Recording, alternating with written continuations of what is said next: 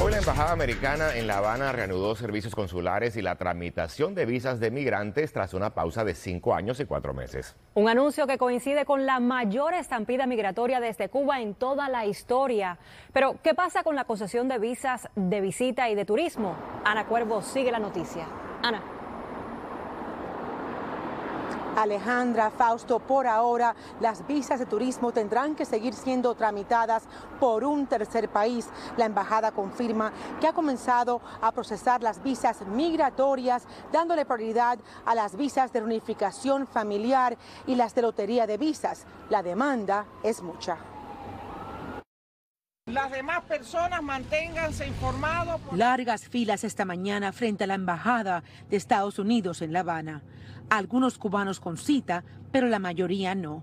Hoy la embajada reanudó sus servicios consulares y de visas por primera vez desde que una serie de incidentes inexplicables de salud entre el personal diplomático de Estados Unidos hizo que Washington redujera drásticamente su presencia en La Habana. Algunos vieron sus esperanzas tronchadas desde aquel entonces. Bueno, vengo a saber sobre un caso pendiente mío que tuve entrevista en 2017 y me quedé pendiente de entregar un documento y cerró la embajada. Es muy difícil vivir la situación de nosotros porque nosotros desde el 2017 eh, estamos pensando en que sí vamos a salir de este país, pero aún así hemos seguido luchando en las calles día a día, día a día, día y, y hemos tenido miles de detenciones, miles de golpizas. Desde el 2017 la única opción para muchos era viajar a un tercer país costoso y desconocido para apostar por la libertad y un futuro. Es un momento esperado ya que muchas personas tuvieron la dificultad de tener que viajar a Guyana fuera del país para poder obtener su visa. Porque el gasto que se utilizaba para ir a Guyana era enorme.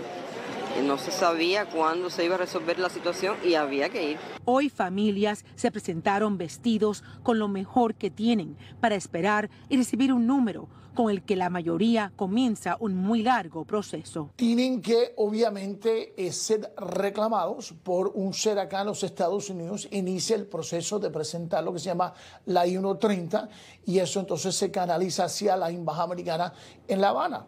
Es un proceso que mínimamente se va a demorar a, desde un inicio aproximadamente dos años en los casos más rápidos. El abogado de inmigración Eduardo Soto espera que la apertura ayude a controlar la desesperada inmigración ilegal. Ya que estamos viendo lo que estamos viendo en las fronteras, eh, tanto por mar y por tierra, eh, de personas entrando de manera ilegal, es un mensaje claro de que hay otro proceso, una que es legal, ordenada.